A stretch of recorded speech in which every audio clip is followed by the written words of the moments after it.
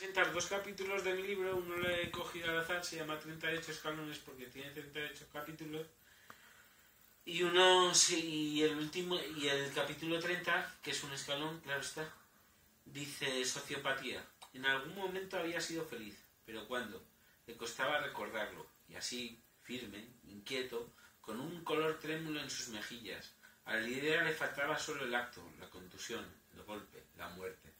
En su frustrada vida, en su inmensa frustración del surrealismo de ascender solo para dejarse caer, de palabras con las que nunca llegó a expresar su malestar con todo, con el mundo, con el chino que le ponía el café, con la chica que enseñaba el tanga en la bicicleta, con el que ponía a su lado, se ponía a su lado en el puesto de trabajo.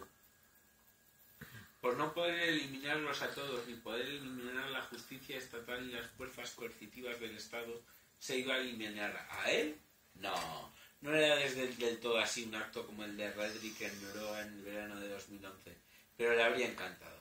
Luego, en su imaginación, también poniendo una metralleta desde su ventana para masacrar a la gente, niños, perros, mujeres, obreros, chinos, negros, abogados y policía.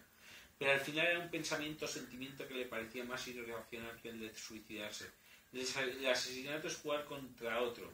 El que él quería retozarse en él mismo, lanzarse desde su propio una muerte sin palabras de despedida, pues no había así pensado siquiera en dejar una nota lo sumo un SMS a su mujer de un infierno o llamar a algún amigo, pero no era así. Marcos Montoro había decidido no decidir más.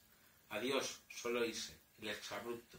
La última conversación sería su último alarido, su, último estertor, porque no le intuía otra vida, solo a la muerte, la, solo a la muerte que tenía afincadas razones en su mente en medio de la oscuridad donde le habían empezado a escocer los ojos por el llanto pasado y por esa congoja y un quejido que se le escapó suave como la de una mujer que pierde un tacón. Escribía su historia por su miedo. Tres sentimientos iban en su cuerpo que eran secretos. Tres penas, tres duelos. Duelo, penas y secreto eran lo que poblaba su sentimiento. Intentaremos desarrollarlo a lo largo de los próximos párrafos y lo que ya llevamos andando. Sí, él odiaba a veces a la humanidad entera. A veces le daba parte formar parte de ella. Lo mejor sería eliminarlos a todos, ser flor de samurái. Esa era su pena. El código samurái el busido lo hubiera, lo hubiera, pero el harakari sería de kamikaze desencantado, y no por honor aunque también. Esta era su pena y también su secreto, y el secreto a voces, lo que a él le parecía blasfemia, una falsa democracia que en realidad era una monarquía constitucional, basada en una constitución obsoleta del siglo pasado a doce años de llegar a la mitad del nuevo siglo con una ley de partido obsoleta, con una pésima ley de partidos políticos y con unos partidos políticos nefastos. Otro mundo era posible, una movida neo-hippie como en la primavera de 2011. No, no era ya nada posible el mundo controlado por unas pequeñas.